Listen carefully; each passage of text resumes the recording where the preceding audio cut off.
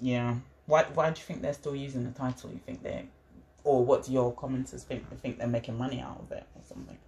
Um, my the people in my comment section feel like they're using their titles to make themselves feel big, to make them as a brand, kind of, to mm. make themselves feel important. I think, mm. like when they're intro- introduced at charity events, they say Duke and Duchess of Sussex instead mm. of Prince Harry and Meghan Markle. So it's like a persona. It's like a uh, I don't know how to explain it. That's how they feel like they're using it as a celebrity Yeah. kind of status. Yeah, I can see that for Meghan because she's just Meghan Markle.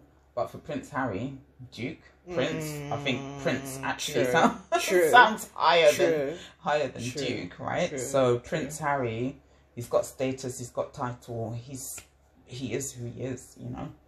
True. He doesn't need the the Duke. Uh, yeah, he doesn't need the Duke um, Yeah, that's true actually. title. Yeah, so that's true.